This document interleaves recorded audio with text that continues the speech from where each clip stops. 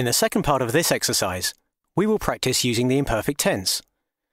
Imagine you were telling a friend all about your trip to Paris. How would you describe your hotel, the scenery, or the metro? Listen to the following extracts and answer the questions which follow, using our prompts to help you.